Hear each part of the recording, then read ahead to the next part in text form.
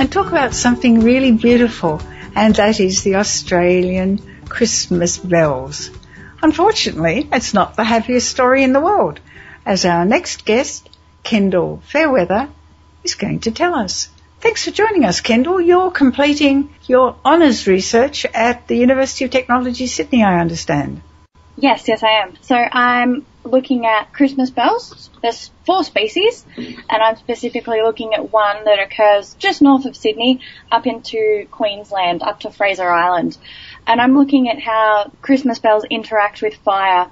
You know, Kendall, when I read that you were researching Christmas bells, it occurred to me I hadn't seen any for ages and ages. Am I just not looking in the right place or what? Well, it could be a, a number of things. Christmas bells, from my surveys and my understanding, are in decline. There's a couple of reasons for that. First, they grow in heathlands, so they're low lands. There's not large amounts of vegetation. They're pretty easy to clear and build on. So people are chopping them down to put up apartment blocks or in Port Macquarie, they have overrun an area that used to be a very large Christmas bell field in extending their airport. So they tend to be on vaguely flat open country. More often than not, they're in a slightly wet heath or an open forested type area, right. like like an open eucalyptus woodlands. You get a lot of other native species around them that only grow quite small, so two to three meters is sort of the height of the vegetation that they grow in at most. How widely are Christmas bells, or were Christmas bells dispersed? Between the four species, they went from Fraser Island in Queensland down to about Jervis Bay in New South Wales, and then there's one species that covers most of Tasmania. And what are you particularly interested in in relation to them? I'm looking at one of the multitude of threats that are adding up against Christmas bells, and that's fire and our fire management strategies. We know that Christmas bells are really strongly linked to fire. Their first four years after the environment they're in experiences a fire, they bloom very strongly. So you're getting every plant in an area producing four or five or ten flowers on one stem. But after five years, they stop putting up stems altogether. So I'm looking at that relationship. When you say they stop putting up stems altogether, do the other stems keep on producing flowers? No, it's one stem per season. They're a perennial herb. They pop up a stem around November and they'll have their flowers on that for that season. Sometimes, if the season is a really good one, they might put up a second stem in a season, but otherwise they're not likely to maintain a stem. Once their flowering is done, they've made their seeds for their season, that's the end. They stop putting nutrients in, so that stem will die off. Does this mean they have some kind of underground system like a rhizome sort of thing as opposed to just ordinary roots? They have quite large rhizomes for such a small plant, and that allows them to, after fire, really resprout.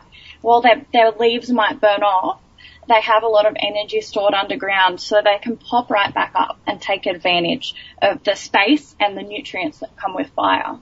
So the plant can exist for maybe 30 years and it's the one rhizome and it will store and store and store and then when it gets that perfect opportunity, it will sprout up, make its flowers for a couple of years and then it goes back into storage mode. So there would be a point at which the rhizome can no longer sustain itself and it would die off. But I myself and other research that I have read hasn't really identified just how long a rhizome can last underground waiting for its opportunity. So is your research looking at what it may be that fire is contributing? I'm trying to identify what aspect of fire really drives that flowering response of the Christmas bells. So it might be that after a fire there's a lot of space cleared. That gives them an opportunity to outcompete particularly due to their rhizomes, they can sprout up really fast into that nice open space. They get lots of light, lots of nutrients, which are enriched in the soil by the fire. They can work off that. They have their rhizomes nice and big. So they can, within a couple of months of fire, they can have a whole new plant above ground with five flowers on a stem. So I'm trying to figure out exactly what aspect. Is it the nutrient flush? Is it the space that they get? Is it a particular nutrient that they're taking hold of? Because we know that there are a lot of native Australian species of plant that are specifically targeting certain nutrients because Australian soils are so nutrient poor. My analysis, when I have all my data, will look at what factor is most strongly linked to the growth response and the flowering response of Christmas bells. I'm still in the data collection phase, but what I can say is that it is definitely apparent that the flowering response is in those first three to four years after fire, as well as, at least at my particular site, some really interesting plant correlations that I'm noticing. So the Christmas bells are very strongly associated with Xanthorrhoea, commonly known as grass trees or black boys. So they appear in the same place a lot of the time, which could be because they have a similar reproductive strategy in that they benefit after fire. They have a rhizoma underground corm as well. Is all the reproduction for Christmas bells asexual? Do they also have seeds? Yes, they do have seeds. A rhizome can only produce genetic identicals. So to propagate the species, they do have sexual reproduction. They're pollinated by bees. A couple of honey eater species also pollinate them and that allows for the crossing of the pollen with the different plants. And I guess the, the wider spread. Yes, they're largely self-infertile. So even if they get their own pollen on themselves, they're not very likely to make seeds. So they are relying on a cross-pollination by a flying pollinator of some variety. The reproductive cycle is quite beautiful. As the plants bud, their buds point straight up at the sky and as the flowers begin to bloom, they droop over, hanging a little bit, as you would imagine, like bluebells all around the single stem. And once they have received pollen and they're beginning to create seeds, their seed pod, it looks a little bit like the Mitsubishi symbol uh, in a cross section in that it's got the three triangle chambers and that points straight down out of the flower and then extend itself to point right back up at the sky and inside of that they produce lots of little kidney shaped seeds that are brown furry seeds. And that seed pod will dry out slowly and burst open in the wind and scatter the seeds that way. So they're quite widely dispersed? Within the local environment. So probably 50 metres at most. They wouldn't be too far because they're not incredibly tall plants, but they spread them away from themselves. That would also fit in with their maximum flowering being within a few years of fire because if those little seeds have to make it down into the ground, they don't want to be landing on a massive ground cover. They want to be able to get to the ground. That is true, which is one of the reasons that they might prefer that space. You say they're in decline. Is that across the east coast or what? Plenty of populations that did exist have been reduced or not managed as well as they could be, I guess which is something that's hard to control from a governmental perspective. You can't control every single species and cater to it. But the species does seem to be in decline and plenty of people that I've talked to that remember seeing Christmas bells everywhere, like you say, they remember seeing them up in the Blue Mountains.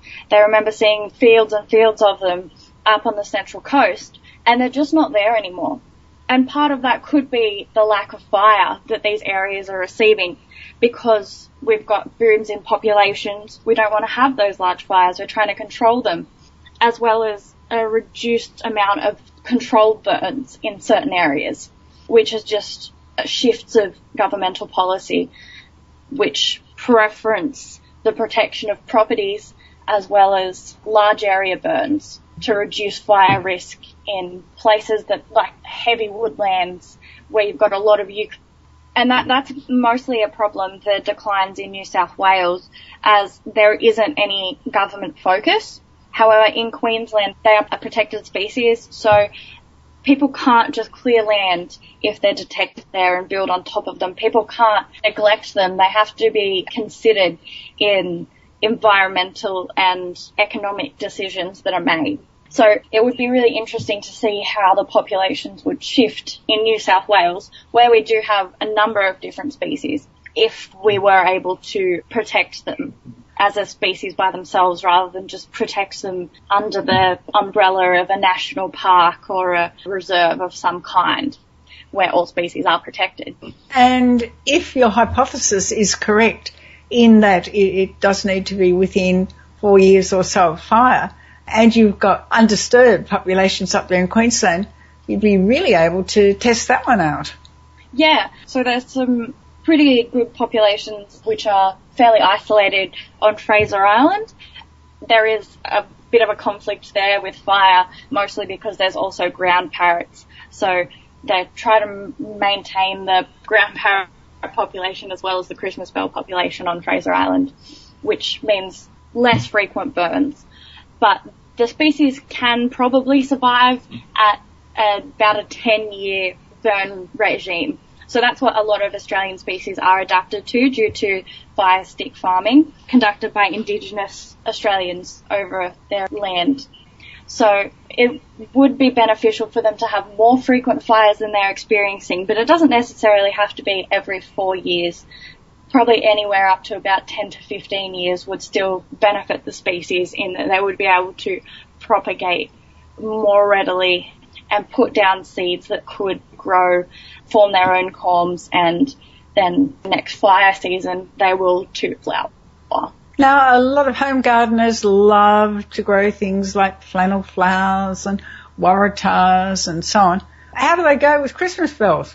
Christmas bells are a wee bit fussy about their nutrient intake, so they, they really don't like phosphorus, which is in pretty high quantities in most fertilizers because Australian soils are poor in phosphorus, but the, the Christmas bells don't tolerate high concentrations. So to grow them, you really need a, a really slow release fertilizer that's only put on in small amounts. There are a couple of articles that have been released by New South Wales government in conjunction with agriculture groups and some of the people I've been working with during my project that do explain the best methods to propagate Christmas bells from existing plant or from seeds. Well, it sounds like a really beautiful project, Kendall. And given the fact that Fraser Island looks like a maybe a worthwhile later study site, you could have a really interesting PhD ahead of you. I could. It Would be very nice to get the chance to look at more than just a couple of populations and really compare their needs between the species and how they um, interact differently with certain aspects that I'm looking at for this project. From what you're saying, it's not just the Christmas bells, it would be a whole community of different flora that would come to play. Definitely. The heathlands in which they grow are pretty unique in that they've managed to maintain a lot of uh, native species with few exotic species invasions. Just because they're not very friendly, they're not easy to grab a hold in. So the better protection of Christmas bells would indeed lead to better protection of the heathlands themselves and all those native species which are associated with Christmas bells.